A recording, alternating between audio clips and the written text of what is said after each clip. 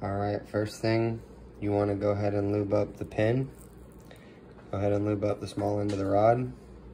Put like a good impact grease. Don't use like a WD-40. Uh, it's not really sufficient enough to coat after it starts making tight contact. So just put everything, nice little layer of grease on everything. Through here.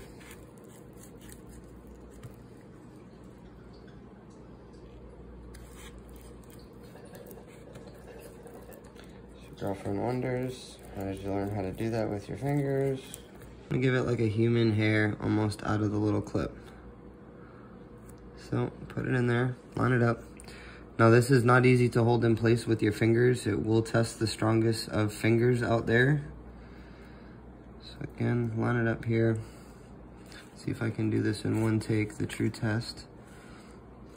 Flathead has been modified at the tip with a little base edge. Again, try to round the edges off so you don't scuff anything.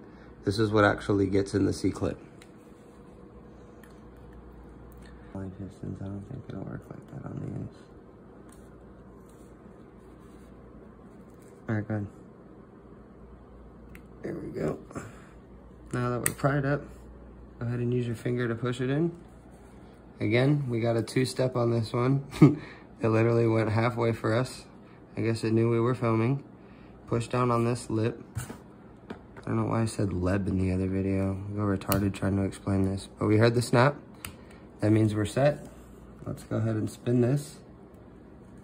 All right. We're locked in. Our tang is on the intake side, the bigger valve relief, opposed to the exhaust tang.